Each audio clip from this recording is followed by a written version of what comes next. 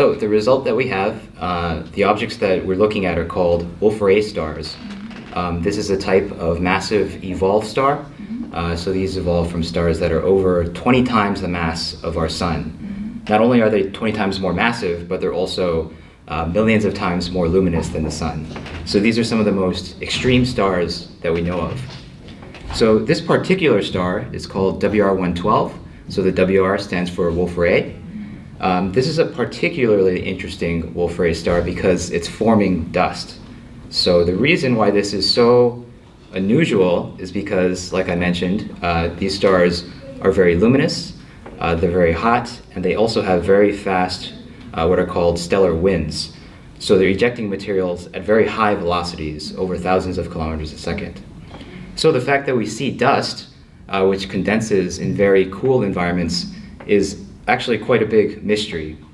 Um, so this is why we are interested in this particular object, uh, WR112. So to explain the results, uh, what I'm showing you here is a sequence of images of this source, WR112, um, and you can actually see uh, that it's moving over time. So these are instruments uh, and observatories uh, that we've observed this with since 2001, or not, not me personally, uh, but several groups have observed this with, um, with Gemini, uh, both north and south, uh, with Keck, uh, with a very large telescope, and then uh, finally with uh, Subaru. You'll see, if you look very carefully at the, these two spur-shaped structures here, they actually change in orientation as you look through these different look through these different sequence of images. We have over we have around 20 years of observations of this target um, and what it actually shows is this, this beautiful spiral rotation motion, um, which was really quite uh, surprising to us. So in this image here, uh, on the left side, explains how this system uh, is forming dust. And uh, sort of the, you can see the orbital motion traced out by the dotted lines of those two stars there. So, so those two um, bright blue dots, or spheres, those are the stars that compose the central binary. So the O star, the companion star, is the one that's embedded in this reddish orange uh, spiral dust shock uh, cone. And then the one outside of that is the Wolf-Rayet star. Uh, that's the uh, hot, massive star. So this is, they're orbiting around each other on timescales of about 20 years. And that's, that orbital motion is actually what's causing the appearance of this uh, spiral, this three-dimensional spiral.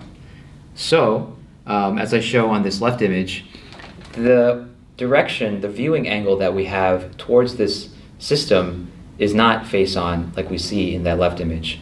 It's actually closer to edge on, which is what we see in the right image, meaning that the orbit, instead of looking like they're spiraling around each other like this, you actually turn it a little bit more so it's aligned with our line of sight.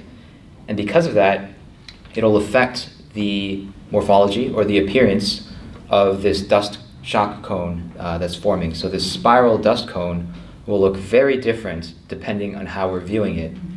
And this system, WR112, produces a lot of dust.